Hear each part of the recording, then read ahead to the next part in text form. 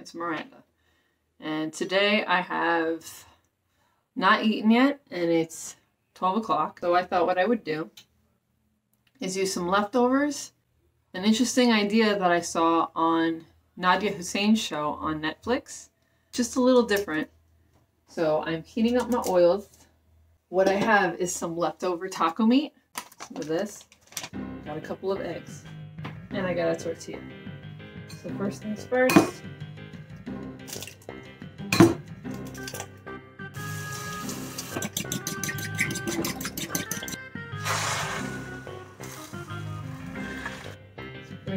Taco meat.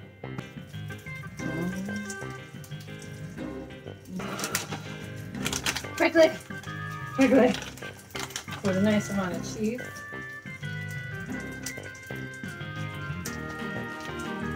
Now what you do is throw this right on top.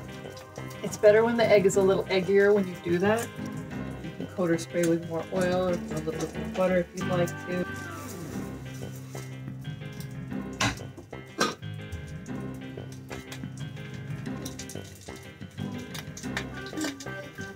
Egg is cooked, you can flip it and just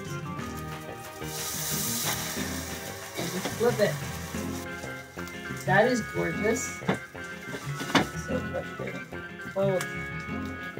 Now it's okay that it slid a little bit like this because when I roll it up, I'll just roll it from the heavier side. It'll slide right back as I'm rolling it. Want to toast it up a little bit with the sides curling a little tiny bit.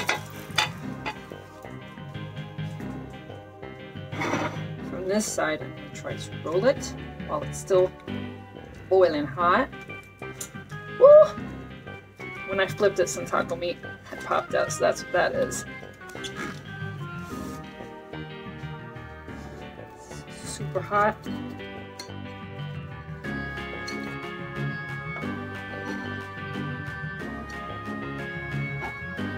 Delicious taco breakfast roll. Mmm. I forgot we had some of this. I could use this.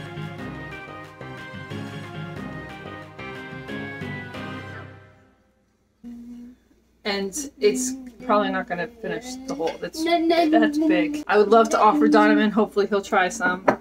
I doubt it, but we can try. That's it. I wanted to share that with anyone who may have had similar leftovers before and didn't know what to do with them. You could do something like this.